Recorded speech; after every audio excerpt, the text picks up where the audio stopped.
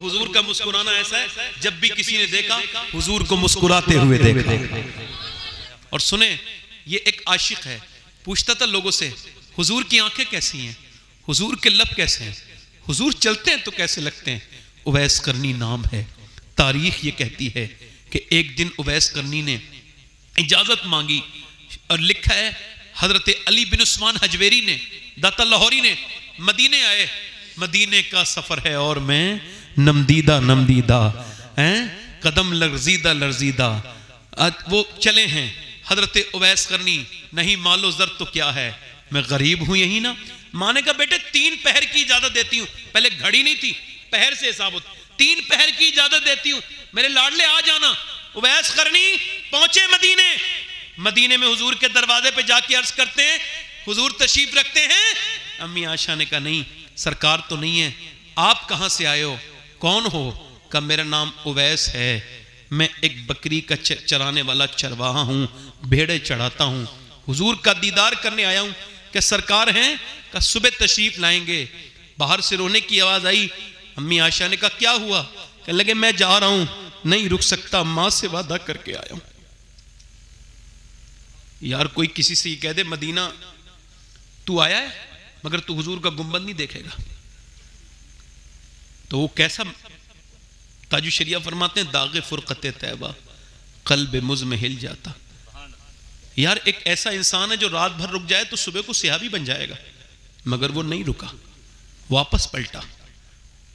तैबा से लौटना किसी आशिक से पूछिए, ऐसा लगे कि रूह बदन से गुजर गई।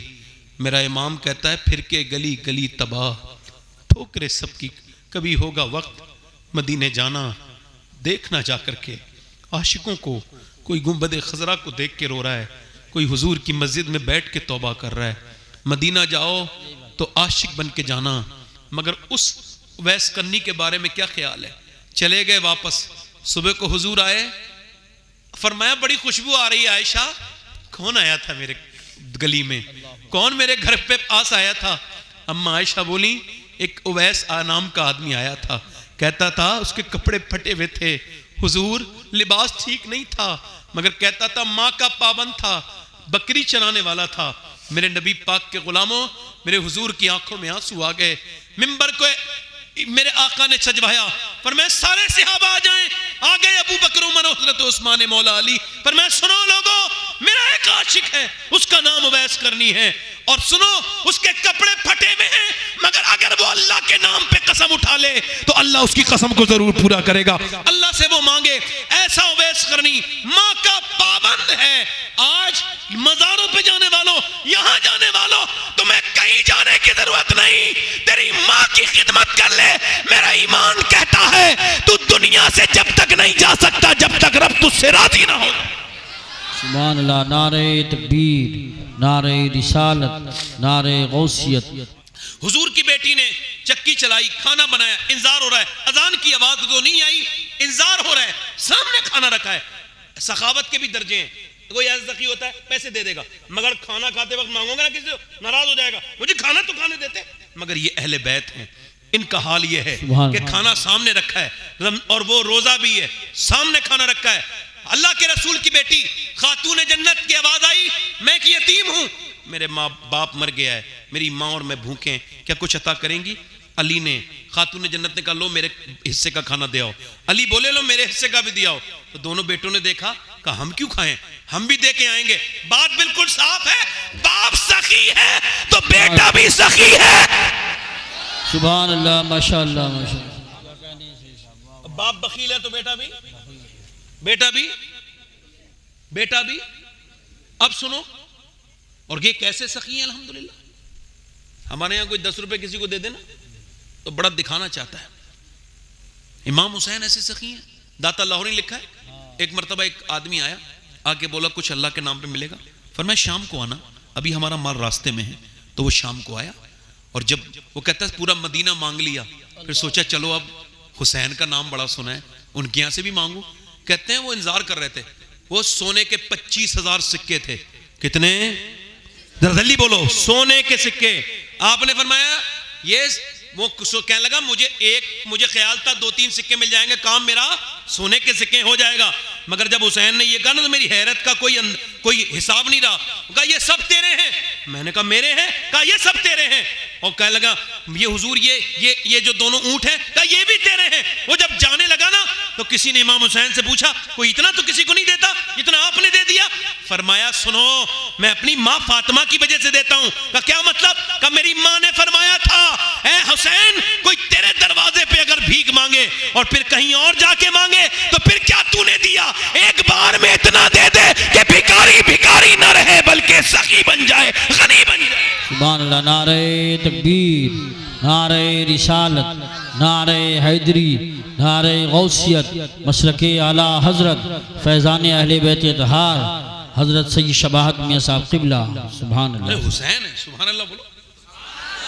इमाम हुसैन की फजीलत में किसी को कोई कलाम है? अरे हुसैन तो वो है कि जब हज़रत सईदना मौला अली जरा ज़ोर से बोलो सुभान अल्लाह मदीने की गलियों में निकल रहे हैं। सईदना उमर आ रहे हैं। उमर वो है सुनो सियाबा इकराम कहते हैं जब हमें मुनाफिक को भगाना होता था तो अली का ज़िक्र करते थे। और जब शैतान को भगाना होता तो उमर का ज़िक्र करते बात है अल्लाह ज़ोर से तो बोलो। अभी हम सुन्नियों का नसीब है हमारी महाफिल में ना मुनाफिक है ना शैतान है। बेशक। सईदना उमर मौला अली को देख रहे हैं। मौला अली उन्हें देख के मुस्कुरा रहे हैं आप भी मुस्कुराइए ना। अरे ज़ोर से तो बोलो यार। मौला अली बोले यार उमर आपकी पूरी दुनिया में शोर है। मैंने कई मुल्क घूमे आपने बड़ा काम किया दीन का। अल्लाह ने बड़ा काम लिया। हज़रत उमर बोले अली आप तो मेरे दोस्त हो। ये बच्चे दोनों कह देना तो फिर मैं मान जाऊँगा। ये बच्चे कह दें। हज़रत अली ने कहा मेरे बेटे ज़रूर कहेंगे। कहो भाई तो हज़रत इमाम हसन आगे बढ़े और कहने लगे बेशक आपने मेरे नाना की इस दीन को बड़ी तकबीयत पहुंचाई। हज़रत उमर की आँखों में आँसू आ गए। हज़रत हुसैन जी कहने लगे तो हज़रत उमर ने दोनों हाथ उठा के रोने लगे। "ऐ अल्लाह, मेरे रब, देख मैंने तेरे हबीब के शहजादों से भी कहलवा लिया कि मैं तेरे दीन के लिए मुखलिस हूँ। मालिक मेरी, मुझे कबूल कर।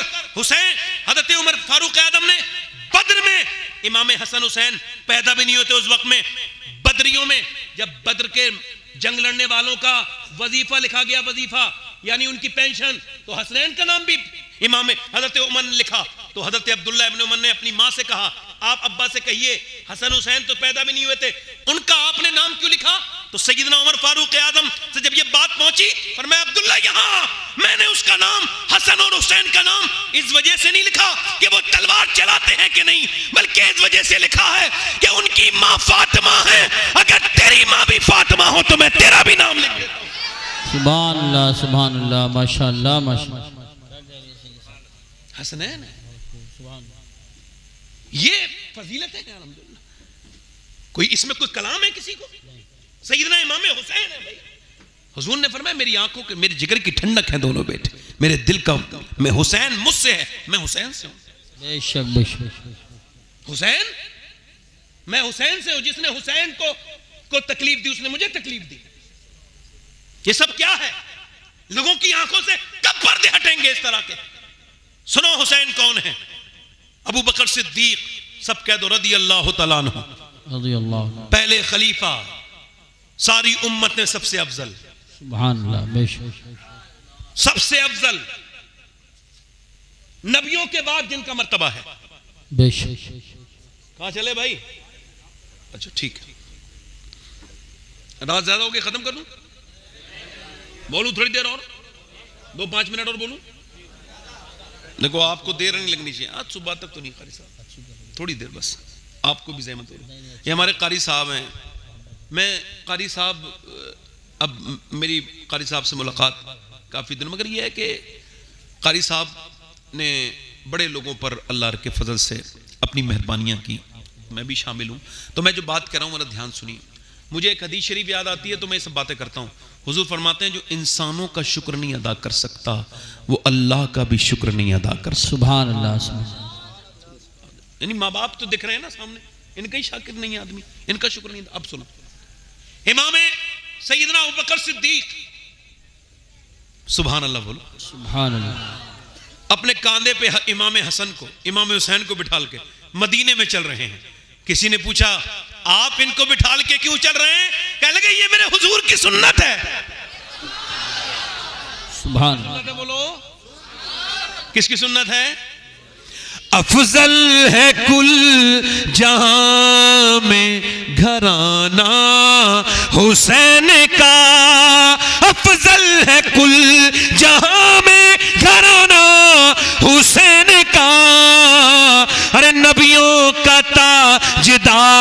ताजदार है नाना हुसैन का। नारे तकबीर नारे रिसालत नारे गौसियत मसलक आला हज़रत हज़रत मौलाना सैयद शबाहत मियाँ साहब किबला। दूसरे दिन भी दूसरे दिन भी हज़रत अली गए दूसरे दिन का भी रोजा रखा और दूसरे दिन भी खातून जन्नत ने एक मिस्कीन के आने पर अपना खाना उठा के दे दिया।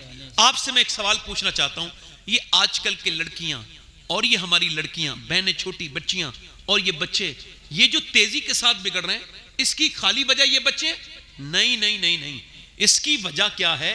डॉक्टर मोहम्मद इकबाल कहता है कि लोग मुझसे जब ये आके कहते हैं कि हुसैन ने करबला में हक अदा किया तो मैं उनसे कहता हूँ ये बात तुमने थोड़ा देर से स्टार्ट की है। इसकी शुरुआत ये है कि पहले अली ने बाप होने का हक अदा किया और फातिमा ने माँ होने का हक अदा किया फिर हुसैन ने जो बेटे होने का हक अदा किया। सुभान अल्लाह सुभान अल्लाह क्या बात है? वाह वाह वाह वाह वाह जिंदाबाद। लड़कियों को अंग्रेज़ी पढ़ने का रिवाज तो आ गया है लोगों के अंदर। मगर इसको याद रखना ये तबाही का सबब ना बन जाए। हाँ, है। इकबाल ने जमाने पहले कहा था कि लड़कियाँ पढ़ रही हैं अंग्रेज़ी। ढूंढ ली कौम ने फला किरा आज लोग थोड़े से अपग्रेड हो जाते हैं ना। हमारे माशाल्लाह काफ़ी ये मीडिया पर्सन आए है ना? कुछ लोग मेरी तरफ़ तवज्जो कर रहे हैं कुछ नहीं कर रहे हैं। तवज्जो है भाई आपकी मेरी तरफ़? बड़ी मेहरबानी आपकी। मैं तो आपसे छोटा मोटा आदमी हूँ। आप जरा पैर नीचे करके मोबाइल को छोड़ के मेरी तरफ़ देखें। अल्लाह का शुक्र है अल्लाह ने मैंने मुझे अंधा नहीं बनाया वरना मैं आपसे कुछ नहीं कहता। क्या तरीका है का है ना? हाँ, मैं ये चाहता हूँ कि कैमरामैन भी मोमिन ही रहे ये खाली कैमरामैन ना बने। सही बात है बहुत अच्छी हुजूर के जलसों में ये आ रहे हैं माशाल्लाह। ये अच्छे लोग हैं खैर का खैर की दावत दे रहे हैं। अल्लाह ताला इनको सलामत रखे। इनमें से कुछ लोग बड़े खतरनाक होते हैं। हाँ इज़्ज़त भी खराब कर देते हैं। कुछ भी काट के डाल देते हैं ये बहुत बड़ा गुना है। जुर्म है कत्ल के बराबर है ये। कुछ कम नहीं कि किसी को मार दिया लोगों ने। वो सफ़ाई देते देते परेशान है ये एक बार पहले मेरी कितनी तक इन्होंने इस तरह की चीज़ें काटते हैं पीछे। ये आगे अपने हमारे इलाके का अल्लाह का शुक्र ऐसे लोग नहीं है। कुछ हैं जिनकी रोज, रोजी रोटियाँ भी इसी जलसों से चलती हैं और वो बदनामी भी इसी जलसों की करते हैं। ये जलसे जुलूस की बातें जो काट के डालते हैं कल कयामत के दिन ये रुस्वा ना हो तो देखना। बिल्कुल सही हुजूर की महफिल में अगर कोई बात हुई थी सब इंसान थे तो छुपा लेते तुम और वो तबसरा करने वाले ही बैठे उनका भी काम इसी चलेगा। और फिर वो कमेंट वाले भी बैठे हैं वो कमेंट वो, जैसे वो पहले लेटरिनों में लोग जाते थे ना गंदे लोग तो वहीं पे कुछ गंदी बात लिख देते थे ट्रेनों की लेटरिन में। और वो बैठे हुए, आज यही लोग इनके हाथ में, ओछे के हाथों में खिलौने। ये भी जाके कमेंट लिखते हैं, किसी के भी खिलाफ भी, कुछ भी लिख देते हैं, और हम इससे बड़े परेशान हो जाते हैं। फला ने ये कमेंट कर दिया, भाई यार, इनके कमेंट कमेंट से कोई फ़र्क वरक नहीं पड़ता। आप अपना दिमाग जरा थोड़ा पारी फ्री करें, आप जरा थोड़ा इसको दिमाग से निकालें, और ये याद रखें, पूरी दुनिया के कमेंट ना लो, कोई तुम्हें अच्छा ना कहे, इससे फ़र्क नहीं पड़ेगा। कोई बुरा कहे या अच्छा कहे। अगर कमेंट करवाने हैं तो किसी मोहल्ले वाले से नहीं, अपने माँ बाप से अपने लिए कमेंट करवा। अगर तेरे माँ बाप ये कह दे कि मेरा बेटा अच्छा है तो खुदा की कसम तू जन्नती है, तुझे अल्लाह जन्नत अता करेगा। अल्लाह नारे तकबीर नारे रिसालत नारे गौसियत मशरक आला हज़रत फैज़ान आला हज़रत फैज़ान शहदाई करबला अहले सुन्नत क्या कहने से इसका कमेंट मैं इसकी फ़िक्र नहीं करता।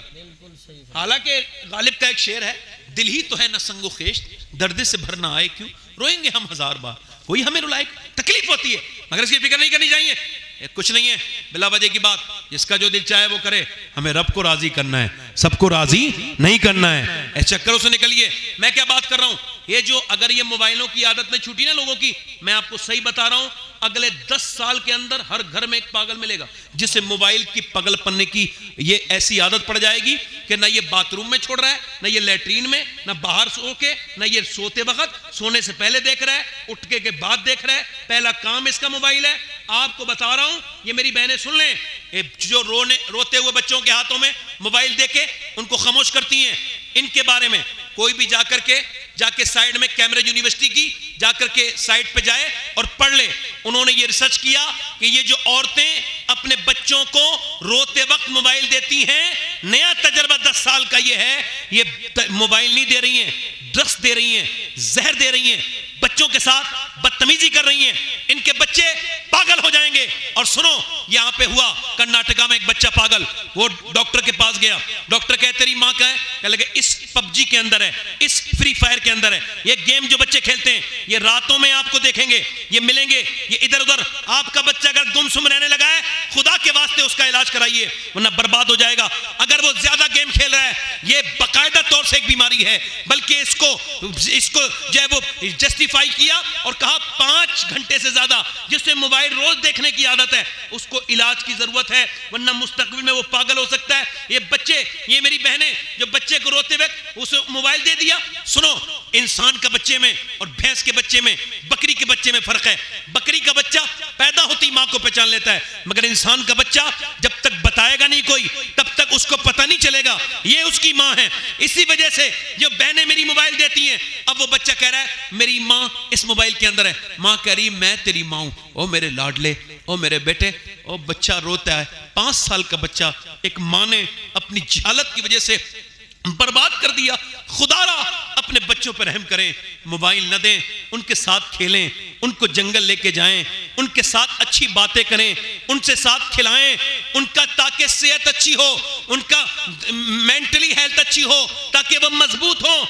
और मेरे दोस्तों, मेरे भाइयों, ये जो रातों में आपने मोबाइलों में, नौजवानों, जितने लॉक लगाए हैं ना तुमने बदतमीजियाँ देख देख करके ये लॉक लगाने से और हिस्ट्री डिलीट करने से तुम्हारे गुना तुम्हारे अमाल से डिलीट नहीं होंगे। क्या समझते हो? ये तुम्हारी आँखें हैं, ये जो तुमने आँखें अपनी बर्बाद की हैं। नहीं नहीं, ये तुम्हारी आँखें नहीं है। और सिर्फ़ ये ऐसा नहीं है कि जिना मिलने के बाद ही होता है। मेरे हजूर फरमाते हैं आँखों से देखना, ये आँखों का जिना है। अब जरा गौर करें, तवज्जो करें, कितनी हमारी आँखें बेहया हो गई, बेगैरती हो गई। सुनो, अब्दुल्ला इब्न मुबारक कहते हैं, मैं काबे का तवाफ कर रहा था। एक आदमी हाथ हाथ बाँध के एक ही दुआ करे जा रहा था। मैंने तीन दिन लगातार उसको देखा। वो तवाफ में एक ही दुआ करता था अल्लाह, मुझे ईमान पे मौत अता कर। अल्लाह, मुझे ईमान पे मौत अता कर। अल्लाह मुझे ईमान पे मौत अता कर। कहते मैंने तीसरे दिन जब वो हरम से निकला तो पूछा, ये तू खास दुआ क्यों कर रहा है? कह लगे, मेरे दो भाई थे, एक ने चालीस साल अजान पढ़ी, अल्लाह की रजा के लिए एक ने तीस साल अजान पढ़ी, मगर दोनों जब मरे तो नसरानी हो के मरे, उनके ईमान बर्बाद हो गए, मरे तो ईमान वाले नहीं थे, का क्या कमी थी उनके अंदर? उनके अंदर कमी ये थी कि उनकी आँखें पाक नहीं थी वो औरतों को बुरी नज़र से देखते थे, उनकी निगाहों में पाकिजगी नहीं थी। मैं अल्लाह के हरम में ये दुआ कर रहा हूँ ए मेरे मालिक, मेरी खुताओं को माफ़ करके, मैं मरूँ तो मेरे मालिक मुझे ईमान वाला मैं बन के मरूँ। मेरा ईमान न छिन जाए। अल्लाह अकबर, उतवा बिन गजवान नाम का सियाबी है। तलवार चलाते हुए अपनी आँख को निकाल के फेंक देता है। यहाँ पे बसरा में उनका मज़ार है। सिहाबी रसूल है। आँख निकाल के फेंकी तो अल्लाह अकबर आगे आए अबू मूसा शरीफ, हुजूर के ज़माने का बेहतरीन कारी। उनके पास जिनका कुरान हुजूर सुनते थे, जिनकी ज़बान से अब जब हुजूर वो उनके पास गए और जाके बोले कि ये बताएँ, आपने आँख क्यों निकाल के फेंक दी? लोग तुमको पागल कह रहे हैं। कह लगे, लोगों की वजह से नहीं, अल्लाह के खौफ से। का क्या मतलब? का अभी मैं जब तलवार चला रहा था, एक लड़की पे नज़र गई, हुजूर की हदीस याद आई, जो बदनिगाही करेगा, उसकी आँख में जहन्नम की आग डाली जाएगी। का फिर का फिर तो मैं लरस गया।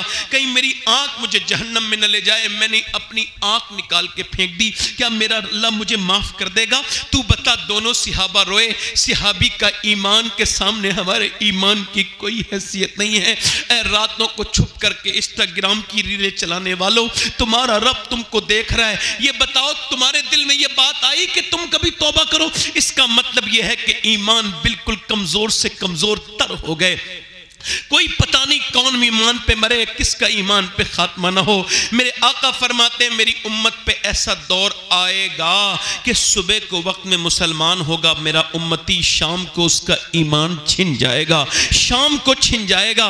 क्या ईमान की बिल्कुल भी, आपको बिल्कुल भी परवाह नहीं? और मेरे भाइयों, ये मेरी बहनों से गुजारिश करता हूँ, खुदा के वास्ते सैयदी हुजूर आला हज़रत फाजल बरेलवी रदी अल्लाह फरमाते हैं, अगर माँ अपने बच्चे को दूध पिलाए और दूध पिलाते पिलाते अपने बच्चे को वो अल्लाह के रसूल पर दरूद भी पढ़ दे तो अल्लाह उसके बच्चे को आशिक रसूल बना देगा। किसको जिसकी माँ दरूद पड़ेगी दरूद माँ पड़ रही है। बच्चा असर कर रहा है। माँ जबकि माँ पेट में जब बच्चा होता है, माँ अगर झूठ बोलती है, इसका असर बच्चे पे पड़ता है, जो खाती है। अभी एक बच्चा कोई कोई साढ़े सात सौ, आठ सौ साल पहले, एक बच्चा यहाँ बदायूं से हिजरत करके, और वो चला गया दिल्ली। रात का वक्त है, और दिल्ली में उसकी वालदा रो रही है। उसकी वालदा सैयद जादी है। अगर कोई सैयद है तो दो सीन उसके अंदर लाजिम मंजूम होंगे।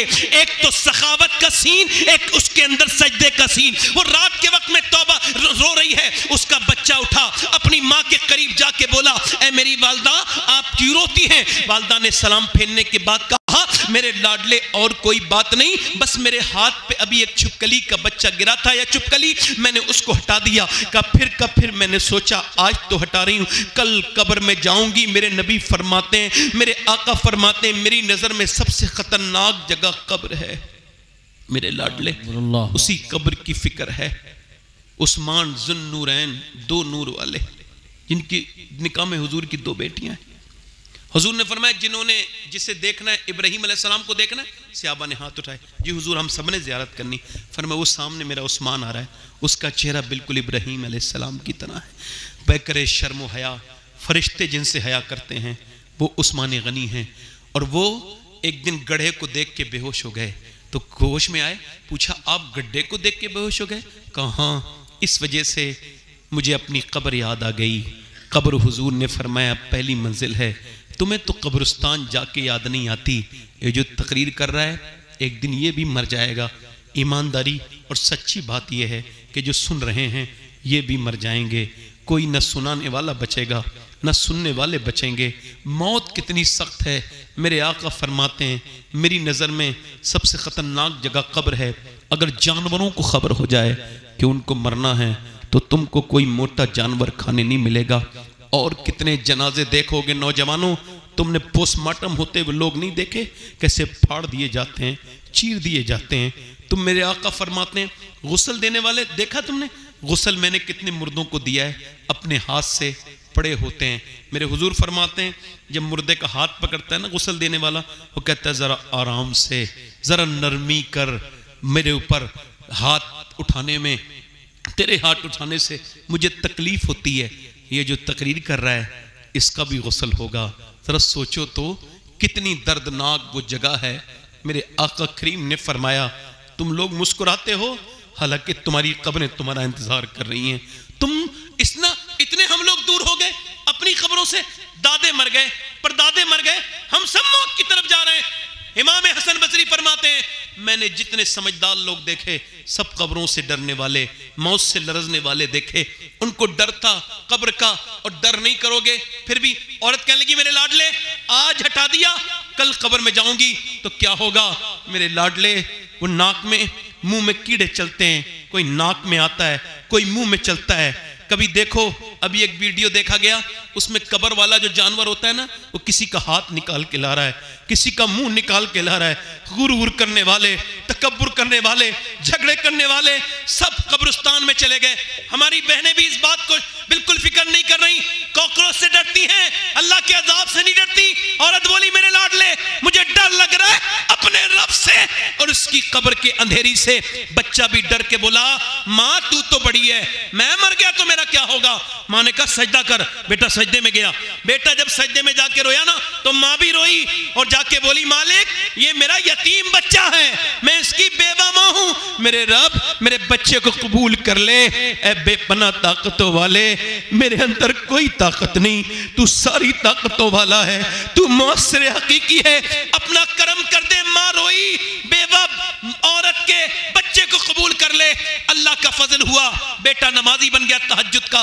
रात को रोता था, जवान हुआ, माँ का विशाल हो गया, बेटे का भी विशाल हो गया। साढ़े सात सौ साल गुजर गए, दिल्ली में जाके चेक करो, बादशाहों की बीबियाँ, मुगलों की शहजादियाँ, उनकी कब्रों के निशान मिट गए। मगर जो रात को रोती थी, उसका मजार तीन बीघा ज़मीन में है। उसका नाम सैयदा जुलेखा अलमारूफ माई साहिबा है। बीच दिल्ली में उसका मजार है। अरबों खरबों की संपत्ति पे अकेली सो रही है और उसके मजार पे हर बुध के दिन मेला लगता है। करीब में उसके बेटे का मजार है। और सुनो, बादशाहों की खबरें तो तुमको नहीं मिलेंगी ढूँढने पर भी, मगर उसके बेटे के मजार पे रोज मेला लगता है। उसके बेटे का नाम निजामुद्दीन महबूब इलाही है। जब माँ सजदा करे दिल्ली में तो बेटा दिल्ली को शरीफ बना दे। जब माँ सजदा करे कि चौचा वाले की तो मखदूम अशरफ की चौचा को शरीफ बनाए। जब माँ सजदा करे बरेली के आला हज़रत की तो उसका बेटा सौदा गिरान से बरेली को शरीफ का ऐलान कर दे।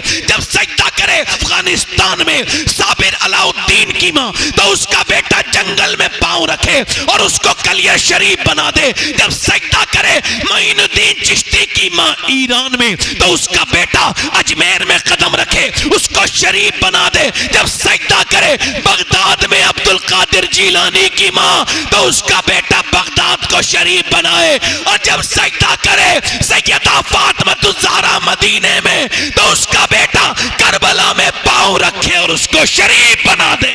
नारे तकबीर नारे रिसालत नारे हैदरी नारे गौसियत मशरक आला हज़रत फैज़ान आला हज़रत फैज़ान शहदाए करबला हज़रत मौलाना सैयद शमाहत मियाँ साहिब तिबला सुबहान ज़्यादा लंबी मेरे बात बस यही कह रहा हूँ अपनी बहनों से संजीदा हो जाओ।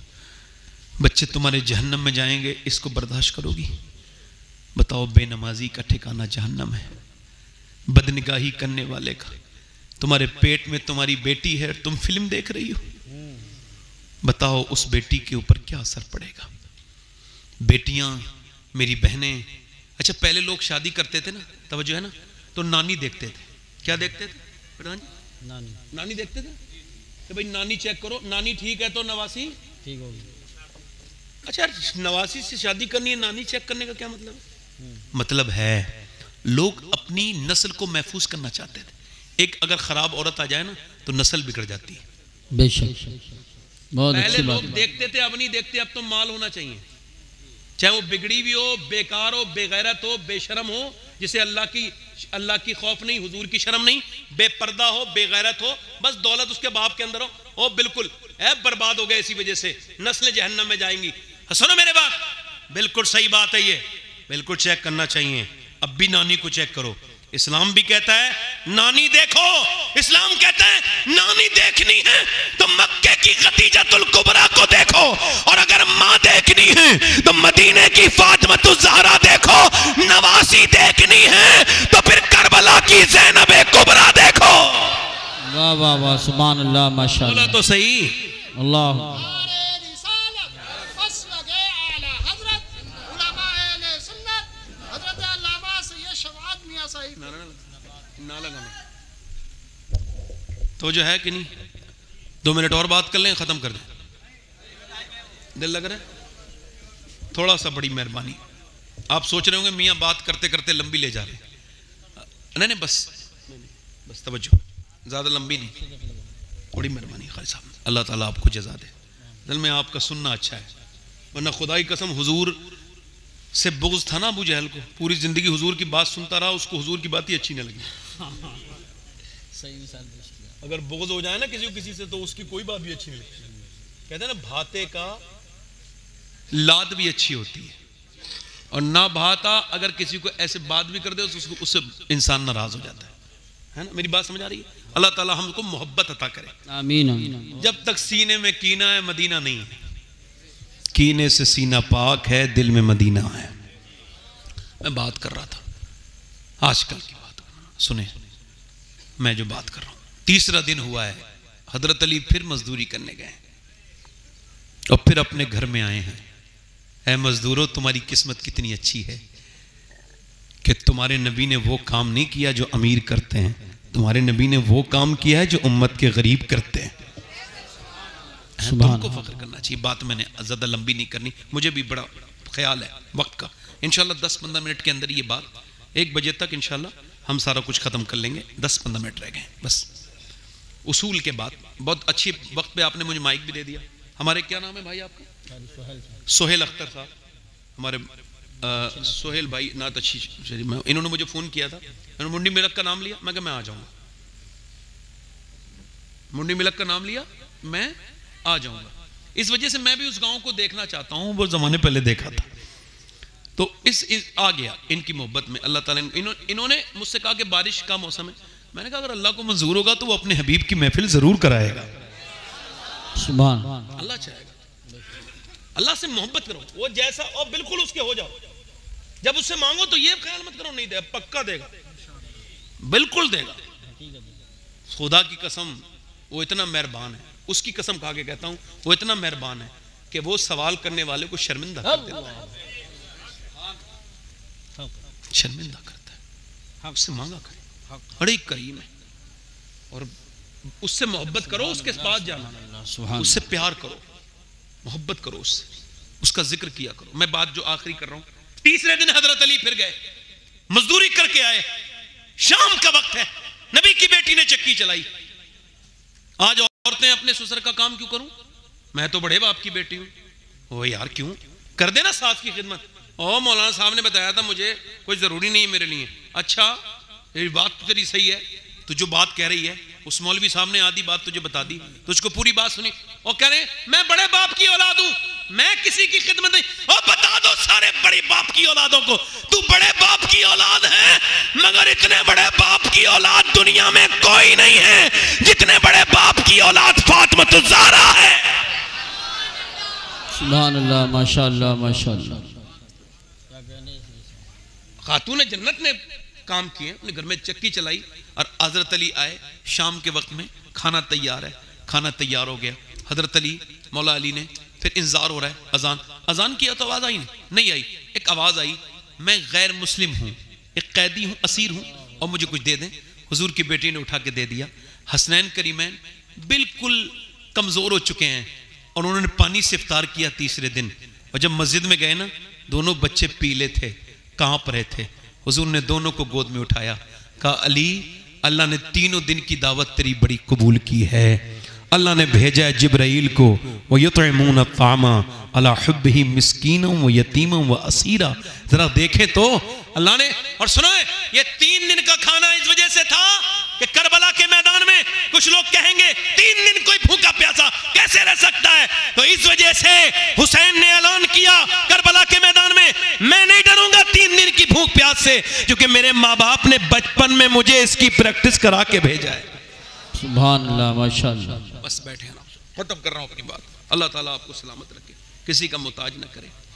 और आखिरी बात मेरी यह है कि हुसैन का पैगाम यही है कि बुराइयों को आप ख़त्म करें अच्छा ही। एक आखिरी बात यह है कि अभी पाँच महीने हुए हैं मैंने अपनी अम्मी को कब्र में रखा है। तो कारी साहब उस वक्त मेरे साथ थे फ़्लाइट में।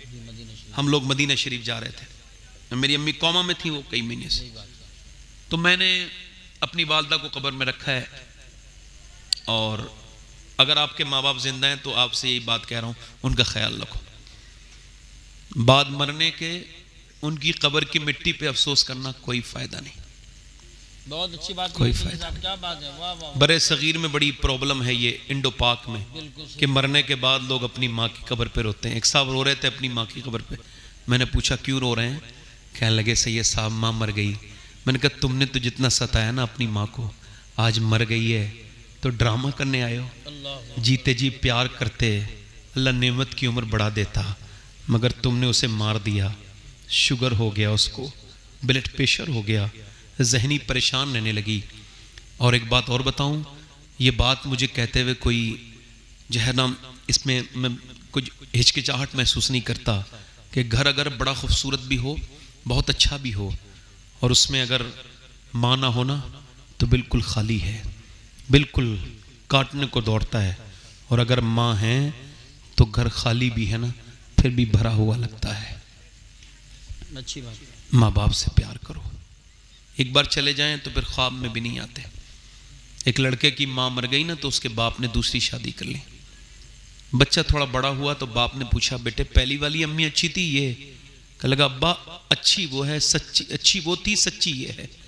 ये कहती अगर परेशान करेगा तो मारूँगी और शाम को खाना नहीं दूँगी। तो मैं जब परेशान करता हूँ तो पूरी रात खाना नहीं देती और ऐसी मुझे छोड़ देती है, रहने देती है। अच्छा बड़ी मेहरबानी। ऐसी रहने देती है और मुझसे प्यार, मुझे ऐसी मैं पूरी रात गुजारता हूँ। और वो माँ मेरी माँ थी ना, कहती थी परेशान करेगा ना, मारूँगी देख। और शाम को खाना नहीं दूँगी। और शाम को अपने हाथ से पकड़ती थी। और मुझसे कहती थी, मेरे बेटे, मुझे सताया मत कर। मेरा दिल बेचैन हो जाता है और अपने हाथों से खाना खिलाती थी। तो अब्बा, वो अच्छी थी, वो ये सच्ची है तो मुझे वही माँ नहीं मिल जाएगी जो मेरी पहली वाली माँ थी। यार माँ माँ है। इसके कदमों का हाल ये है कि एक ऐसा आशिक रसूल है जिसका मैं ज़िक्र कर रहा हूँ।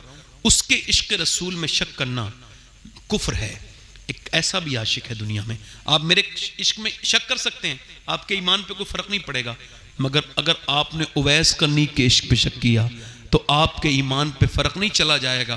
क्योंकि हुजूर ने मुस्लिम शरीफ की हदीस है, मिंबर पे खड़े होकर फरमाया, और सुने, ये एक आशिक है। पूछता था लोगों से, हुजूर की आँखें कैसी हैं? हुजूर के लब कैसे हैं? हुजूर चलते हैं तो कैसे लगते हैं? उवैस करनी नाम है। तारीख ये कहती है कि एक दिन उवैस करनी ने इजाज़त मांगी और लिखा है, हज़रत अली बिन उस्मान हजवेरी ने, दाता लाहौरी ने, मदीने आए। मदीने का सफ़र है और मैं नमदीदा नमदीदा, हैं? कदम लर्जीदा लर्जीदा। वो चले हैं, हज़रत उवैस करनी, नहीं मालो जर तो क्या है? मैं गरीब हूँ यही ना। माने का बेटे, तीन पहर की इजाज़त देती हूँ। पहले घड़ी नहीं थी, पहर से हिसाब तीन पहर की इजाज़त देती हूँ। मेरे लाडले आ जाना उवैस करनी, पहुँचे मदीने। मदीने में हुजूर के दरवाजे पे जाके अर्ज़ करते हैं, हुजूर तशरीफ़ रखते हैं। अम्मी आशा ने कहा, नहीं, सरकार तो नहीं है।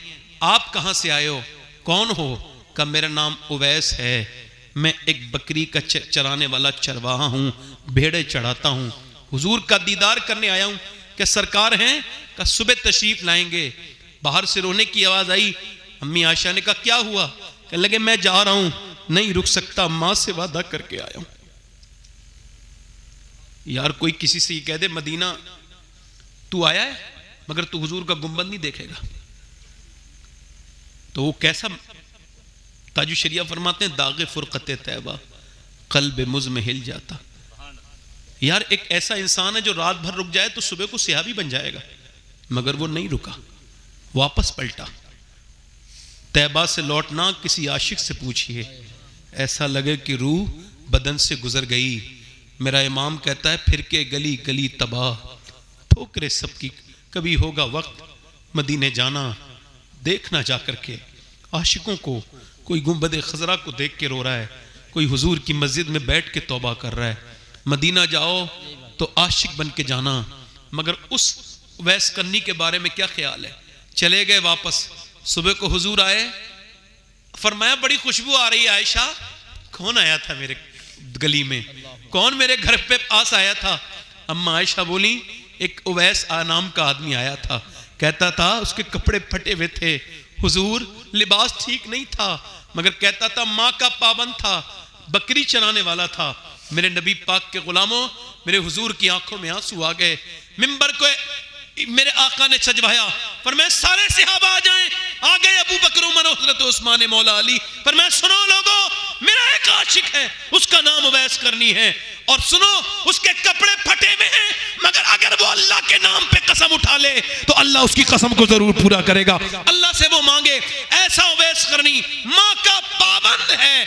आज मजारों पे जाने वालों, यहाँ जाने वालों, तुम्हें कहीं जाने की ज़रूरत नहीं। तेरी माँ की खिदमत कर ले। मेरा ईमान कहता है तू दुनिया से जब तक नहीं जा सकता जब तक रब तुझसे राज़ी ना हो। सुबहान अल्लाह नारे तकबीर नारे रिसालत नारे गौसियत मसलक आला हज़रत बाप का दिल कमज़ोर हो जाता है बुढ़ापे में। सफ़ेद दाढ़ी वाले को न सताया करो। जब तुम उससे ये कहते हो तुमने हमारे लिए कुछ नहीं किया तो उसके सीने के जख्म जो है वो ताज़ा हो जाते हैं। जब तुम्हारे बच्चे होंगे तो तुमको पता चलेगा तुमने क्या किया है। बाप चला गया ना तो फिर कोई ऐसी सूरत नहीं है दूसरी।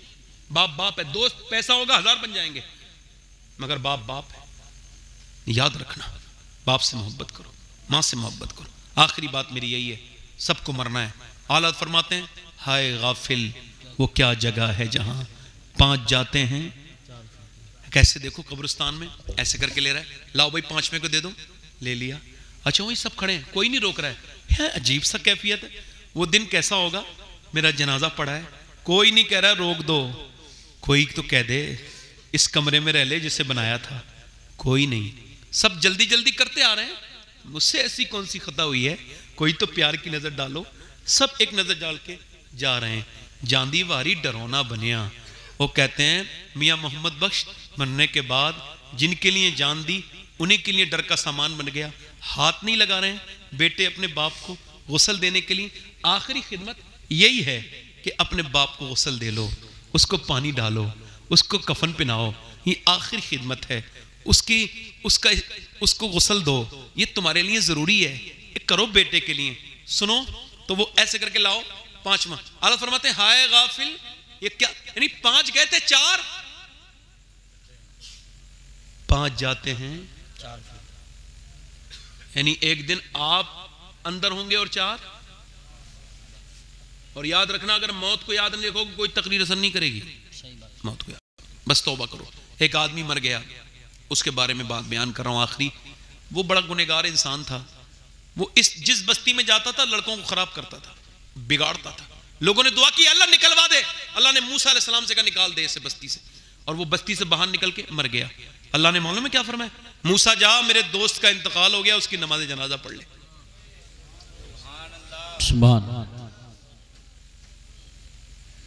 और उसे ही निकलवाया। और ये भी फरमाया ऐलान कर दे जो उसकी नमाज़ जनाजा पड़ेगा मैं उसकी बख्शिश कर दूँगा। देती मालिक तू तो सत्तर माओ से ज़्यादा मेहरबान है। तो मेरी मौत का वक्त है। तू अपने कर्म से मुझे अपनी रहमत की चादर अता कर। वो रो के बोला, मालिक, अगर मेरे जैसा गुनेगार कोई नहीं तो तेरे जैसा करीम भी कोई नहीं। अगर मेरी माँ होती तो मुझ पर बड़ा रहम करती। क्या तू मुझ पर रहम नहीं करेगा? क्या मैं इतना गुनहगार हूँ? अल्लाह फरमाता है, उसने कहा, मालिक, अगर मेरे बख्शने से तेरी रहमत पे कोई फ़र्क पड़ता है तो तू मुझे ना बख्श। और अगर नहीं पड़ता तो बख्श दे। अल्लाह फरमाता है मूसा उसने ऐसे दुआ की है कि वो अकेले की बख्शिश मांग रहा था। सारी दुनिया की माँगता मैं सब गुनेगारों की बख्शिश कर देता।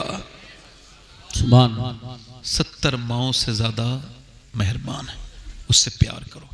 जरा हाथ उठा के बताओ आपका कितने लोग ऐसे हुजूर के नाम पे अपनी जानें दे सकते हैं? दोनों हाथ उठा के बताएँ। नीचे हाथ कर लें। बड़ा वक्त हो गया।